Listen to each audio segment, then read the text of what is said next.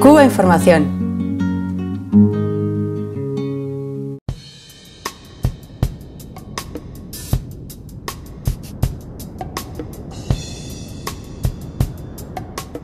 Gonzalo Fernández Ortiz de Zárate es el actual coordinador de Paz con Dignidad Euskadi, Bakea Taduintasuna e investigador de LOMAL, el Observatorio de Multinacionales en América Latina.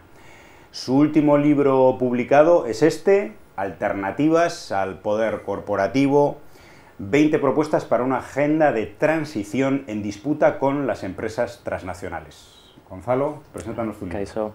Eh, gracias, José. Bueno, el libro surge pues, de una necesidad detectada dentro de lo mal. ¿no? Eh, somos una organización que se ha dedicado durante muchísimos años a la denuncia en ciencia política contra las transnacionales, pero seguramente nos faltaba como decir, bueno, si ese es el modelo que no, que no nos sirve, que, genera exclusión, que genera sostenibilidad, ¿cuál es el otro? ¿no? ¿Qué otras alternativas hay? ¿no? Al final, eso era un run run que venía en la organización y al final decidimos pues, hacer un ejercicio de sistematización de qué creemos que se puede hacer eh, contra, en la lucha contra ese poder corporativo. Entonces, el, libro surge de ahí y más o menos se estructura en, dos partes. Una primera, pues más de radiografía de cuál es el poder actual de, de las empresas transnacionales. ¿no? Nosotros nos gusta hablar de poder corporativo en el que se forma una red que más allá de las empresas interactúan con estados, interactúan con organismos multilaterales como la OMC, como el Banco Mundial, como el Fondo Monetario Internacional y que desarrollan un poder que va más allá de lo económico, es decir, las empresas ya no son solo un poder económico, sino que tienen muchísimo poder político, poder cultural y poder jurídico, ¿no? incluso que generan esa arquitectura de la impunidad eh, que nos está conduciendo realmente pues, a unas cotas muy bajísimas de, de democracia. Y después, digamos, ante este diagnóstico de ese poder que encima nos está, eh, nos está eh, llevando a una forma cada vez más visceral y agresiva de capitalismo. ¿no? Estamos entrando una, en una fase muy complicada, el capital también está en crisis, ¿no? hay una crisis eh, de reproducción del capital, no encuentran fórmulas de reproducir la ganancia Estamos ante un colapso ecológico muy fuerte que también va a reducir la base material con la que opera el sistema y ante esos momentos muy delicados lanzan como una ofensiva contra todo lo, viviente por mercantilizarlo todo y el poder corporativo tiene ahí una, un papel fundamental. ¿no? Pese a ello, y ya entramos en la segunda parte del libro, creemos que sí hay alternativas. ¿no? Y Seguramente muchas veces pensamos en alternativas más bien puntuales, dispersas, y el objetivo precisamente de, este libro es como aglutinar todas ellas, sistematizarlas y hacer como una propuesta de agenda, una agenda de agendas que después habría que concretar en función de los sujetos, en función de los contextos, pero que por lo menos sí visibiliza que se pueden hacer un montón de cosas, no solo resistir al poder corporativo, regularlo y acatar, eh, acotar un poco su poder y generar también eh, alternativas diferentes de vida. ¿no? Y ahí hablamos de temas de acaparamiento de tierras, de reforma eh, tributaria, hablamos de fiscalidad, hablamos de democracia, hablamos de producción, de consumo de energía y planteamos esas 20 propuestas, 90 medidas y concretadas en 30 experiencias que se han desarrollado tanto en América Latina como en Europa para que podamos de alguna manera ver que sí se puede ¿no? y que hay vías todavía para luchar contra este sistema. Dices que sí se puede, pero hay un mensaje como muy de mucho calado que impregna no solamente el mensaje general de los medios de comunicación, sino incluso yo creo que es, es un mensaje que, que, ha calado en la mente de, de millones de personas en el mundo y es que no hay alternativa a las transnacionales esa maldita frase de Thatcher, ¿no? de que decía de que no hay alternativa, pues seguramente ha sido con lo que nos han estado colonizando durante muchísimo tiempo, ¿no? para decir, bueno, dentro de lo que cabe este sistema eh, no va bien, seguramente es cada vez más evidente la exclusión generalizada, la precariedad, la insostenibilidad de la propia propuesta, pero eh, dicen, bueno, pues no hay otra alternativa, ¿no? precisamente contra eso luchamos. ¿no? A nosotros siempre nos turba mucho una frase de Galeano, Galeano decía que pequeñas personas en pequeños lugares haciendo cosas pequeñas pueden cambiar el mundo y esa parte tiene una parte buena y está bien, porque es verdad que, y ese libro lo demuestra, se visibiliza que hay muchísima gente en muchos lugares luchando contra, contra este monstruo, contra esta cosa escandalosa, pero también a veces pensamos que esa eh, visión muy localista o esa visión muy de lo concreto muchas veces es insuficiente para luchar contra este monstruo que está eh, impregnando lo local lo estatal, lo regional y lo global. Y por eso creemos que entre las dos lógicas, ¿no? de sí que es importante lo local y lo que hace cada cual y lo cotidiano y demás, eso es fundamental, pero tenemos que tirar también agendas y estrategias que realmente cambien sistemas y ganen espacios a este, a este capitalismo depredador. En el libro se reflejan diferentes experiencias de resistencia y de construcción de, alternativas eh, sociales y económicas sobre todo en América Latina, aunque también os referís a, otras experiencias en Europa, por ejemplo. ¿Destacarías alguna en concreto? Sí, eh, sí que veíamos muy claro desde el principio que hablar de una agenda con 90 propuestas, si la gente, si los movimientos sociales, los activistas no ven que están concretadas en algo que ya se ha hecho o ya se ha intentado, pues creemos que, que, al final eh, pues puede ser contraproducente. Y por eso sí que hicimos ese esfuerzo de que no sea solo América Latina, que es una fuente inagotable durante muchísimos años de aprendizajes, sino también de Europa, ¿no? intentar también poner en diálogo eh, a los dos territorios. ¿no? Hablamos de, de 30 experiencias y realmente, pues bueno, pues eh, no quisiera tampoco destacar ninguna, todas creo que tienen su, su fuerza, pero sí hay algunas, digamos, con una raigambre o con una fuerza quizá mayor, o sea, la propuesta sistémica también de generar el sistema de comunas en Venezuela, yo creo que puede ser una experiencia realmente interesante. Las experiencias de las fábricas recuperadas en Argentina, ¿no? como al final eh, demuestran, hacen pedagogía de que esa figura del empresario que parece que es omnipresente y que es necesario, pues muchas veces no lo es y las empresas pueden seguir adelante. Y bueno, y experiencias también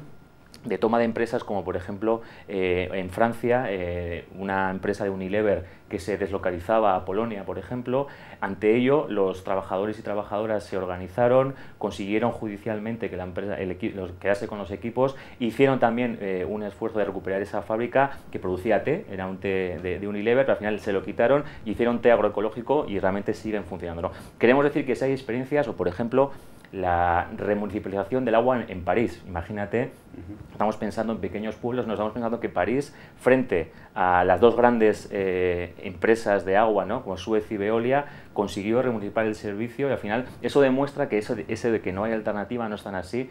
Falta, es verdad que es muy, complejo, pero falta mucha voluntad política y mucha claridad en ese sentido.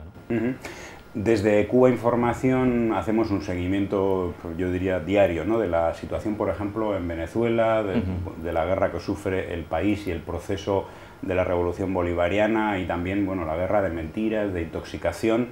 Eh, tú has mencionado el asunto o la propuesta de las comunas como un proyecto, digamos, alternativo de, de generación de espacios socioeconómicos desde lo popular, pero con apoyo de un Estado revolucionario. Eh, ¿Qué nos cuentas en el libro?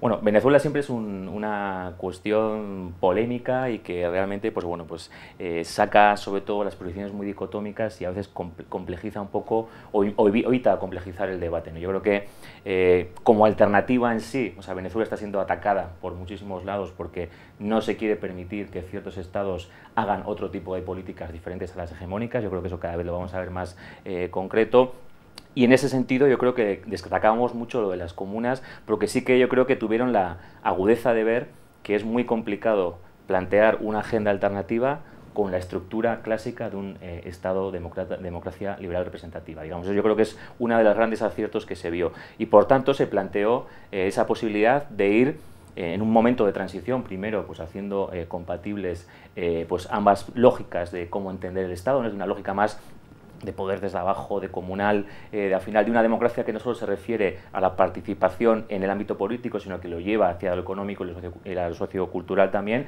y esa creemos que es un gran, un gran acierto, ¿no? que recupera un poco toda la herencia de cierto comunismo libertario, de los soviets y demás, creíamos que, que eso es algo que hay que, destacar. Lo que pasa es que luego pues la realidad actual, pues bueno, pues también con esta coyuntura última que hemos vivido en los últimos años, yo creo que ha hecho que ese proyecto esté todavía paralizado, pero no, no, no, no muerto. Es yo creo que lo importante sería, y creemos que Venezuela sigue, tiene que seguir siendo como una propuesta alternativa al mundo, ¿no? y sabemos que es muy complicado, y el desarrollo de ese proceso comunal y avanzar también en otras cuestiones también, pues creo que de lucha contra el poder corporativo creo que podría ser un ejemplo importante para, para todos y para todas.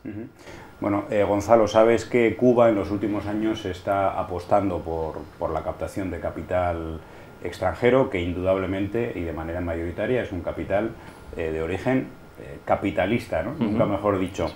Eh, ¿Crees, sin embargo, que, mm, que, Cuba, bueno, con el peligro que puede representar, llegar a acuerdos con el capital internacional, sea o no imprescindible, necesario, ¿crees que Cuba va a poder seguir manteniendo la soberanía económica o el riesgo es demasiado grande?